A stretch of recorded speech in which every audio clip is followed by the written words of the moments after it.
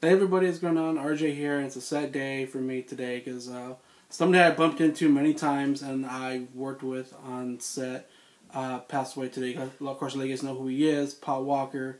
Uh, he's pretty famous, well known. You know the Fast and the Furious movies. But when I met him, he did She's All That, and he was just beginning. And I never gave him a ride back to crew parking. Really nice guy. We chat chit chat for like, at least like forty five minutes in crew parking before I even left. And I wasn't even working on that movie. I was working on the movie right next to him, and uh, I was just very cool. He's a very cool guy. And I bumped into him too many times on set. I worked with him on. Um, actually, I bumped into him again on this one movie I was working for in uh, Santa Monica Beach, and I was working the night crew, and he was there at a party at some house, and then I also met Bill Murray that morning too. But that night, uh, he recognized me, who I was. Like, hey, how's it going? You know, kind of like passing ways. And uh, and his friends hung out with me at least like 45 minutes to an hour.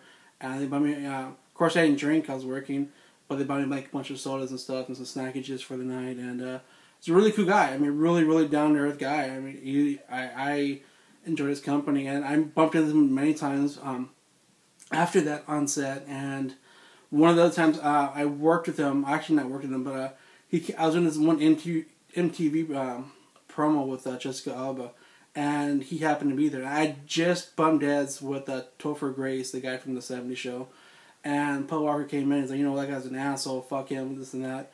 And he asked me what I was doing. So I was watching here, making sure people, the right people, came to the crew parking and the base camp. And I was watching, kind of watching Jessica's um, trailer, making sure nobody was there. A bunch of like celebrities that there doing the MTV promo and he was supposedly working it or doing like a spec, uh, a guest spot on whatever they're doing at uh, Cal State Fullerton College, and um, he made he asked me, you know, hey, if you eat anything, you need anything. I'm like, no, I haven't eaten anything. I know that they're they're making food, the catering. You know, I had a really good catering the day, and uh, he went down and grabbed a bunch of cheeseburgers, came back, and we actually ate in top of my car, and he stood with me for like at least an hour, just chilling, and he made sure I get fed and he, he ate too. And he, we stood there and we talked and um, we laughed, we joked. It was it was a pretty cool guy. I mean, it was fun times. And then to hear about this guy passed away today is it's kind of a shame.